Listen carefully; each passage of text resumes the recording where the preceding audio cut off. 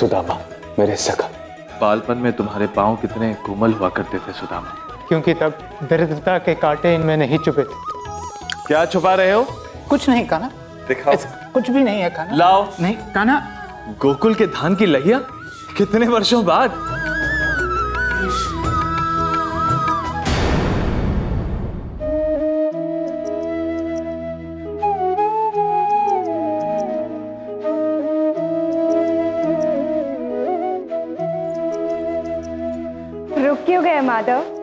मेरी पच्चाप पहचान ली आपने?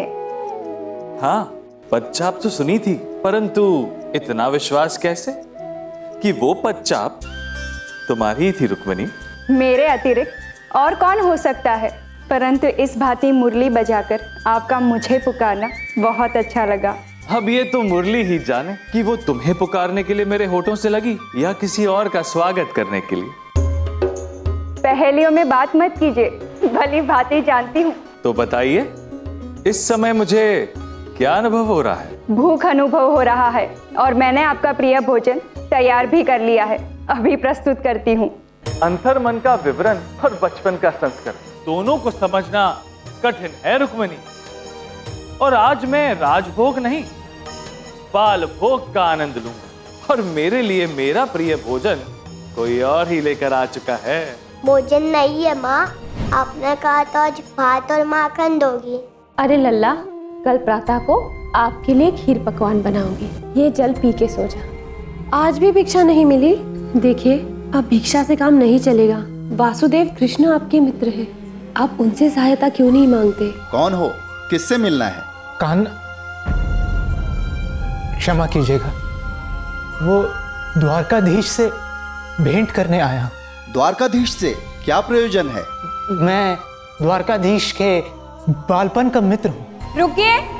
आपने कहा आप द्वारकाधीश के मित्र हैं। क्या ये सत्य है? नाम क्या है आपका?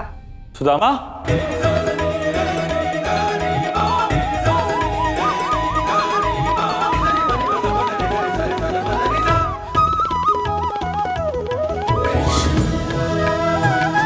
सुदामा मेरे सखा।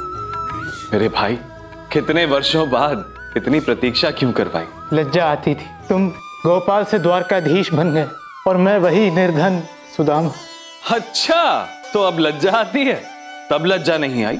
जब मुझसे ही माखन चुरवा कर मुझे ही माता की मार खिलवाते थे। सखा जहाँ लज्जा होती है वहाँ मित्रता नहीं होती और जहाँ संकोच होता है वहाँ विश्वास नहीं होता। नहीं नहीं ये क्या कर रहे हो?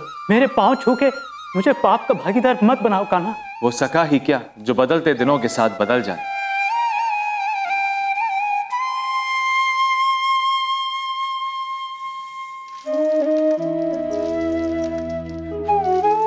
दिन भर काना काना करते रहते हो। जाओ और सहायता मांगो उनसे। नहीं तो फिर कभी कृष्णा का नाम मेरे सामने मत लेना। बालपन में तुम्हारे पाँव कितने कोमल हुआ करते थे सुदामा। क्योंकि तब दरिद्रता के कांटे इनमें नहीं चुभे थे।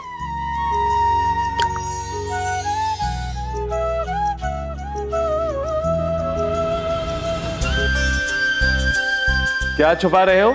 कुछ नहीं कहा। क्या छुपाया उस लाल पोटली में? ये धान की लैया है उपहार स्वरूप दे देना। समझ गया। अवश्य भाभी ने उस पोटली में मेरे लिए भेंट भेजी होगी। दिखाओ। कुछ भी नहीं है काना लाओ। नहीं काना दिखाओ। काना। नहीं।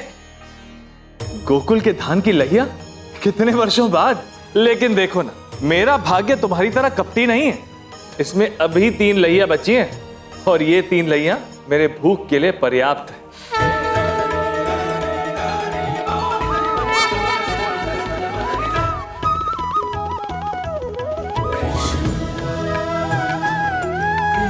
बस कीजिए वासुदेव। भोजन बनाने में मैंने भी परिश्रम किया है उसका भी मान रखिए। इस धान की लहिया से मुझे अधिक प्रेम और एक ही दाने से मेरा पेट भर गया। तुम सच में नहीं बदले काना अब आज्ञा दो काना केवल भेंट देने आए थे या कुछ और प्रयोजन भी था? कहने की कोई आवश्यकता नहीं। सब जानता आते रहना। मांगने पर जो दिया जाए वो या तो ऋण होता है या उपकार। और मित्र के बिना मांगे उसकी आवश्यकताएँ पूरी की जाए तो वो है मित्रता। तो आपने हमारी मित्रता में बाधा क्यों डाली? कितनी स्वादिष्ट लहिया थी। आखिरी दाना खाने ही नहीं दिया। रोकना पड़ा। क्योंकि पहले दाने के बदले में आपने सुदामा को स्वर्ग सा ऐश्वर्य दे दिया और दूसरे दाने के बदले में पृथ्वी का सारा सुख अपने मित्र सुदामा को दे दिया।